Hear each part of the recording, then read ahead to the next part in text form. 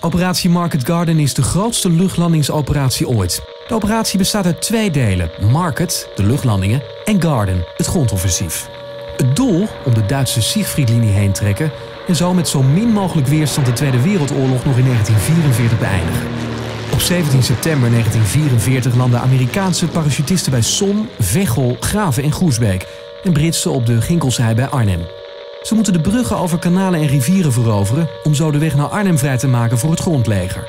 De route van Valkenswaard naar Arnhem komt door Veghel. Dat is een belangrijk punt op die route. Op 17 september veroveren Amerikaanse parachutisten de bruggen rond het dorp. Dinsdag 19 september bereikt het grondleger Veghel, maar op 22 september slaan de Duitsers terug. Tot twee keer toe weten ze Hells Highway te doorbreken, waardoor de bevoorrading van de troepen verder naar het noorden stokt. Volgens sommige historici is Market Garden niet bij Arnhem, maar bij Veghel verloren.